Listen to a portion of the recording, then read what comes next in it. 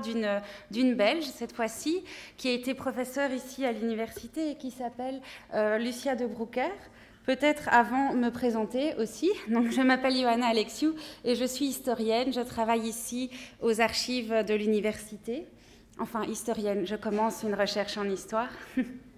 Euh, donc, Lucia est euh, née en 1904. C'est la fille du socialiste et politicien Louis de Broucker.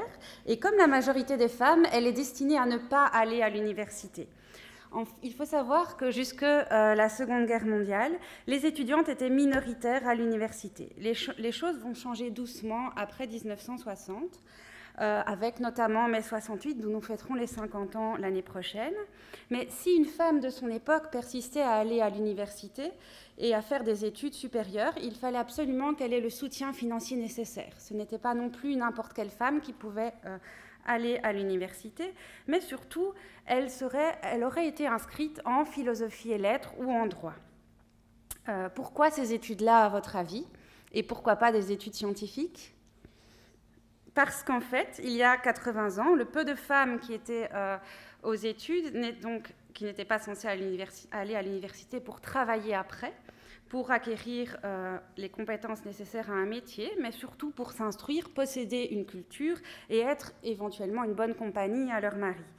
Euh, aujourd'hui, le problème se pose un peu moins évidemment. Beaucoup de choses ont changé sur le plan de l'enseignement supérieur, puisque 57% des femmes sont étudiantes à l'université et terminent avec une maîtrise, en tout cas en Belgique francophone. Mais il reste toujours des déséquilibres et donc j'ai une question pour vous. Euh, à votre avis, quel est le pourcentage de femmes qui terminent la carrière académique en devenant donc professeur ordinaire, comme Anne? 31%, 21 ou 11% 21 31 eh bien non, pas 31, mais bien 11% encore aujourd'hui. Eh oui, on a encore des choses à faire. Euh, donc c'est la moyenne pour la Belgique francophone et la moyenne pour l'Europe est de 19%. Mais bon, après cet aparté, revenons à notre histoire. Et pour parler de Lucia, Lucia ne choisit pas des études de euh, ne choisit pas des études en philosophie ou en droit, mais bien des études en sciences. Et elle ne, choisit pas n'importe quelle science, mais la chimie. Et pour choisir cette science, elle sera inspirée par une autre femme dont on parle moins, et d'ailleurs dont on n'a pas de photo ici à l'ULB, qui s'appelait Daisy Verhoeven, Bogart après une fois mariée. Euh, Daisy Verhoeven était l'assistante de Georges Chavannes, et, euh, qui était lui professeur de chimie à l'ULB et qui acceptait des femmes dans son équipe, mais autrement qu'uniquement des techniciennes, mais des assistantes. Euh, elle a été aussi la collègue de, deux autres femmes connues, Hortense Varisseghem et Alice Lecourt, deux femmes qui bénéficièrent de bourses de la part des instituts de chimie Solvay puisqu'on ne l'a peut-être pas encore présenté, mais les instituts de physique ont aussi un parallèle qui sont les instituts de chimie Solvay. Euh, dans cette équipe, elle, en tant qu'assistante, elle va faire sa thèse, et donc à l'époque, euh, on faisait sa thèse en quatre ans, on était l'assistant, et après on passait une année supplémentaire pour acquérir le diplôme qui permettait d'enseigner. Daisy n'aura pas cette opportunité, contrairement à d'autres, et elle, aura, elle restera auprès euh, de Georges de Chavannes, 10 ans en tant qu'assistante. Mais durant ce moment-là, elle réussira à inspirer lors des TP plusieurs femmes, ou en tout cas plusieurs élèves, dont Lucia, qui choisit euh, euh, d'étudier la chimie, la chimie analytique, et puis de devenir plus tard, qui deviendra plus tard professeur. Donc ici, c'est plus un exemple euh, à, l'adresse des enseignants pour montrer l'importance du rôle d'enseignant qui n'est pas seulement de donner et de transmettre des connaissances, mais aussi de former à un esprit critique et d'ouvrir aussi à des passions. Euh, pour revenir à Lucia, elle termine sa thèse en 1927 et euh, en tant qu'assistante de Jean Timmermans, un autre professeur à l'ULB et chimiste, spécialiste en chimie physique. Elle travaillera également avec Alexandre Picus en chimie analytique. Tous deux étaient présents et étaient membres des conseils de chimie Solvay en tant que secrétaire. Donc elle valide ses recherches et elle obtient même un prix, ce qui est très rare pour l'époque, le prix Jean Stas, qui était lui-même un chimiste au XIXe siècle, prix de l'Académie royale de Belgique. Euh, ses contemporains parle d'elle comme, euh, comme d'une femme de grand charisme et une enseignante réputée. Elle va euh, s'impliquer dans de nombreux domaines euh, de la société car elle considère qu'un scientifique, un chimiste, un physicien, un mathématicien n'est pas uniquement là pour travailler sur son domaine d'études, sur la chimie, sur la physique, mais qu'un scientifique est complet s'il s'intéresse à la société qui l'entoure et s'il s'inscrit et comprend son métier comme, et le rôle de son métier, l'éthique, comme quelque chose, euh, comme un métier global, et donc pas uniquement en vue euh, de progresser dans la science, mais de faire progresser la société entière. Euh, au-delà de cela, elle reste une chimiste et une chercheuse chevronnée, puisqu'on sait qu'elle écrit par exemple 18 articles en 12 ans. Alors à l'époque, ça paraît à peu près. Ah, maintenant, pardon, ça, peut paraître normal, mais à l'époque, c'est une production incroyable. elle a écrit bien plus que ses contemporains masculins. Et là, on peut se demander pourquoi. À votre avis, pourquoi Lucia de Brucker a écrit plus que ses contemporains? Quelles peuvent être les raisons? Il y a plusieurs raisons. Déjà, la passion. C'était quelqu'un de passionné. Euh, ensuite, peut-être par son statut de femme. En tant que femme, elle devait s'imposer, face euh, à ses collègues masculins et montrer qu'elle aussi avait les capacités d'être une bonne scientifique, une bonne chimiste. Elle devait peut-être aussi dépasser son patronyme. Elle est la fille de quand même, euh, donc comme je l'ai dit, de Louis de Broucker, de quelqu'un qui était reconnu et elle devait montrer qu'elle n'était pas là non plus uniquement parce qu'elle était la fille de. Euh, ce type de, recherche et aussi le soutien de Jean Timmermans et de Chavannes, qui vont être en quelque sorte, de Jean Timmermans, pardon, qui va être un mentor un peu comme, euh, pas à la même image que Pierre Curie l'a été pour Marie Curie, puisque là, il n'y a pas, c'est un mentor uniquement dans la carrière, euh, vont faire qu'elle va pouvoir développer et qu'elle va à peu près dépasser tout ce qu'aucune femme n'a pu faire à l'époque. Donc, pour sa carrière, juste après la thèse, elle sera l'assistante, donc comme je l'ai dit, de Jean Timmermans et ne sera pas nommée professeur tout de suite, comme Daisy, à l'ULB, mais à Gand. En 1930, elle devient la première femme à enseigner dans une faculté des sciences. Je dis bien dans une faculté des sciences car il y avait déjà des femmes enseignantes en philosophie et en droit. Elle reviendra à l'ULB en 1937 pour enseigner et euh, malgré son statut officiel et un contrat de travail euh, disant qu'elle est bien enseignante et professeure, elle va continuer avant, à ce moment-là, à avoir des tâches qu'on pourrait appeler des tâches d'assistante, comme avant. Elle enseignera quand même la chimie, mais pas à un auditoire de futurs chimistes, mais à un auditoire de mathématiciens. On laissait l'enseignement de la chimie à des, à des étudiants en chimie et futurs chimistes, à des professeurs masculins, encore à l'époque, mais on la laissera quand même enseigner la méthode appliquée à la chimie, et évidemment, euh, on la laissera diriger quelques stages.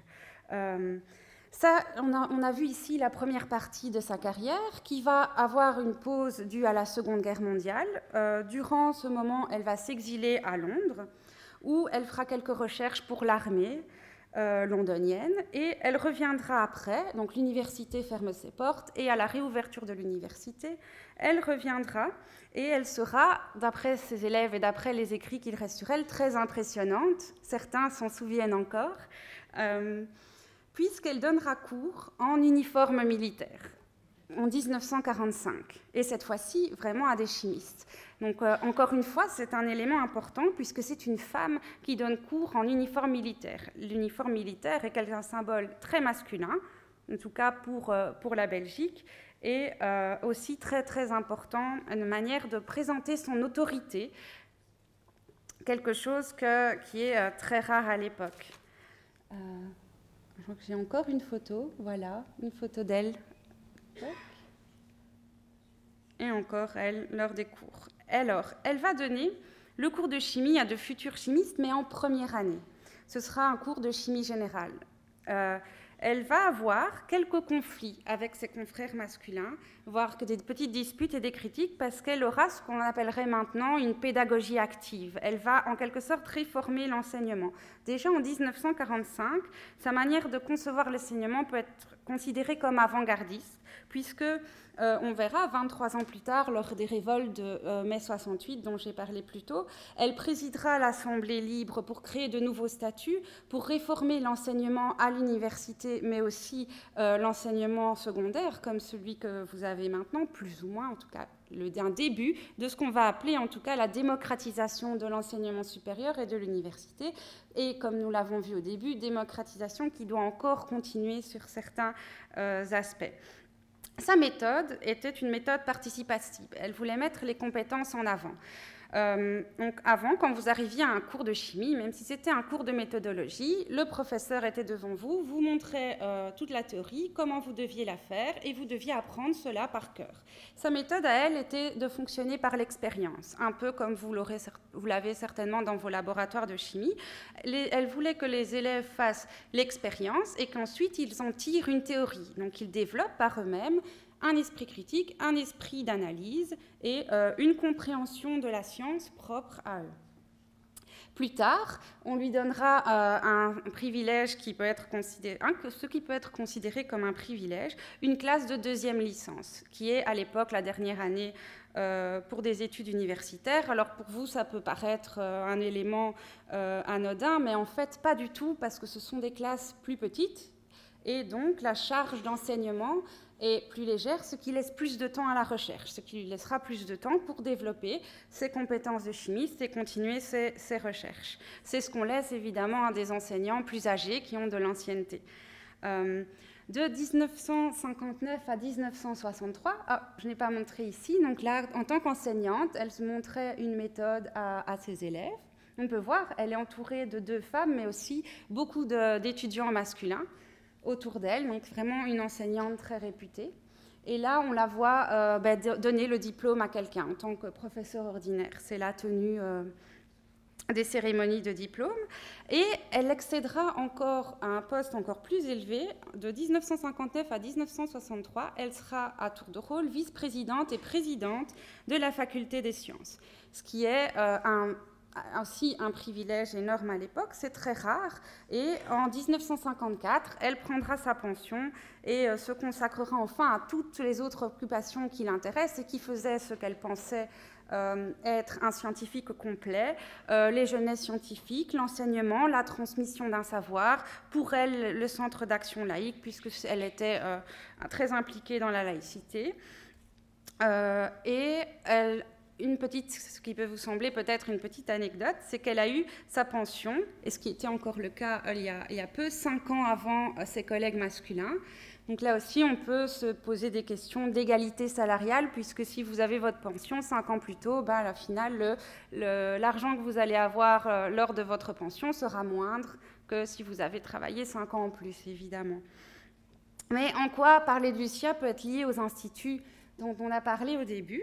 Eh bien, parce qu'elle sera pendant longtemps au Conseil de chimie la seule femme. Euh, Marie Curie, bien qu'ayant eu aussi son Nobel en chimie, avait décidé de se dédier uniquement au Conseil de physique pour ne pas trop se disperser, justement. Et on la voit ici directement après sa thèse, en 1928, au euh, troisième Conseil de chimie. Elle est là. Et pour la suite, je vais vous demander d'essayer de la retrouver au Conseil de 1933. C'est pas facile de voir où elle est. Voilà, bien cachée derrière euh, tous ces hommes. Donc, euh, malgré sa présence sur les photos, qui est quelque chose d'exceptionnel, elle est tout de même encore en retrait. Et enfin, un autre conseil en 1953. oui, c'est ça, au deuxième rang, un peu plus en avant. Mais notons qu'en toute la première rangée que vous voyez à l'avant, ce sont des professeurs de l'ULB ou euh, des universités belges, en tout cas. Ce sont tous les hommes.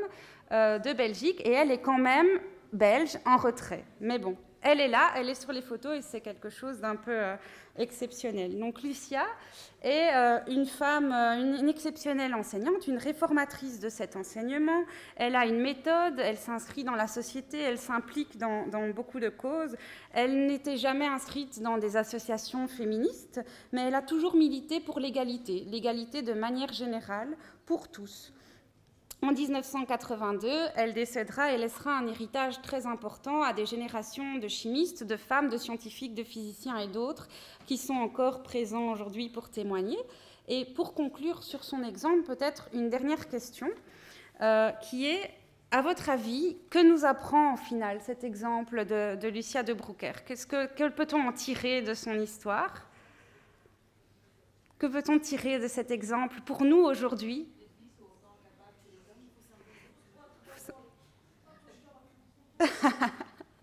oui, s'imposer, les voilà, oui. D'autres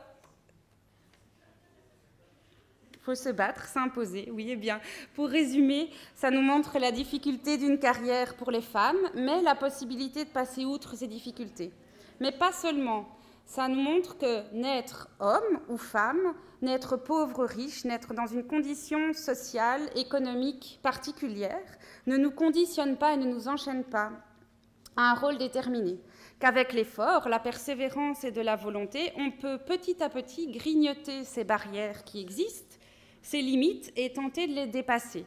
Ici, Lucia est un bon exemple, puisque c'est une femme qui, malgré euh, sa condition aisée, a dépassé et a fait ce que d'autres femmes n'auraient pas pu faire à l'époque, et en même temps un mauvais exemple car elle avait un soutien. Mais après, c'est un point de vue. Il reste surtout qu'elle a fait un choix, un choix libre et critique de sa vie. Donc elle a été à l'encontre de beaucoup de, euh, barrières. On lui a mis, euh, ça n'a pas été facile, ça paraît facile quand on explique sa carrière, mais elle a c'est une pionnière, c'est une des premières euh, à y arriver. Et elle a transmis cela justement, elle a, transmis cette passion à d'autres générations de chimistes et même encore aujourd'hui. Donc voilà, merci.